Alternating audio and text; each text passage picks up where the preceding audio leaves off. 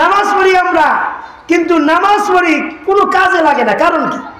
অথচ কোরআন শরীফের মধ্যে আসছেন আল্লাহ পাক বলেন, ইন্না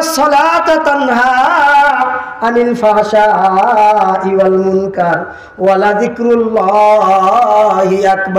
নিশ্চয়ই নামাজ সমস্ত ফাহেসা কাজ নীলজ্জ কাজ থেকে, নিষিদ্ধ কাজ থেকে মানুষকে ফিরায়। মহিলা নামাজি হোক, পুরুষ নামাজি হোক, যদি সে নামাজি হয়, নামাজি হইলে সে সুদ খাবে না। নামাজি হইলে সে ঘুষ খাবে না।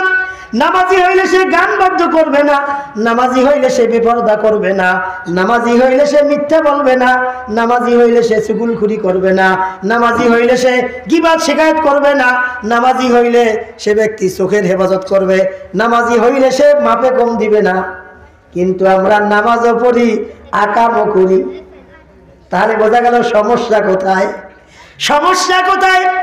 বাংলাদেশের একজন নামি দামি আলেম, উনি বলতেছেন, আমরাও নামাজ পড়ি, কিন্তু নামাজ, সব নামাজে নামাজিকে নামাজের গুনার থেকে বাঁচায় না।